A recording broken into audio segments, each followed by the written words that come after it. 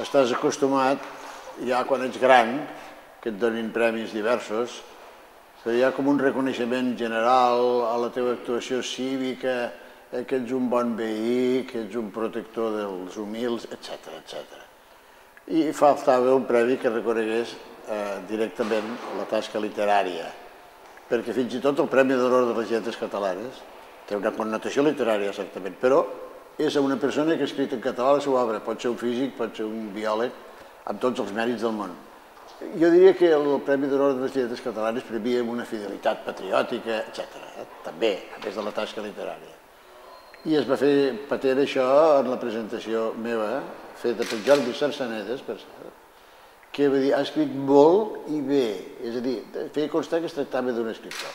Aquí no cal fer-ho constar, això t'ho donen els del gremi. Aleshores, si els del gremi t'ho donen, encara és més, més motiu de satisfacció. En aquest sentit, em complau moltíssim, no puc dir res més sobre això. Bé, com cada any els, els socis i sòcies del, de l'ELC han decidit qui seria el guanyador del Premi Jaume Fuster, enguany ha estat en Josep Vallverdú. En Vallverdú és un doble o triple patriarca de les nostres lletres, cosa que ens omple de satisfacció.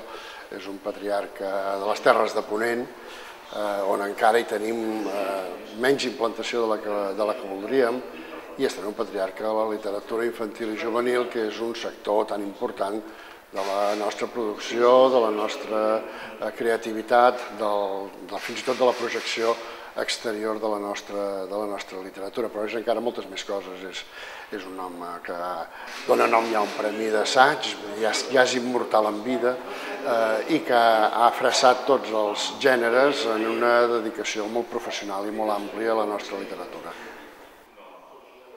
Josep Vallverdú és un autor que ha sabut aglutinar moltes, moltes mirades.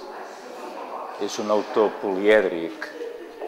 El conjunt de totes les seves cares ha donat una obra molt sòlida,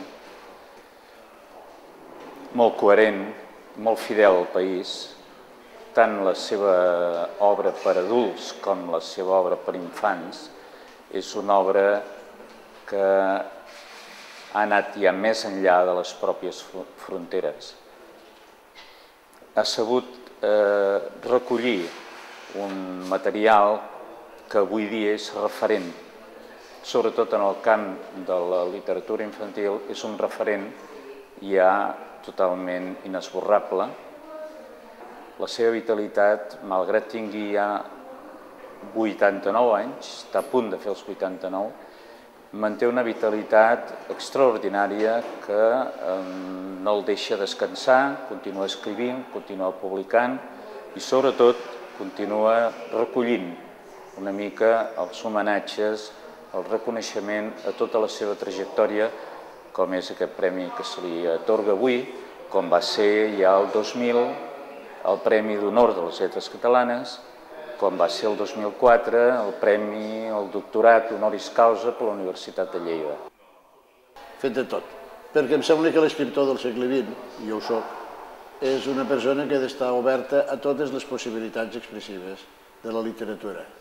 I aleshores jo si m'han encomanat un guió de còmic l'he fet, i un guió de televisió l'he fet, i, i llibre de text l'he fet, i llibres de viatges, i assajos, i, i de tot. I diuen que també la literatura juvenil, que naturalment és un apartat molt important de la meva producció. I a més a més he traduït durant, durant 54 anys, fins a 90 o, o amb un centenar de títols.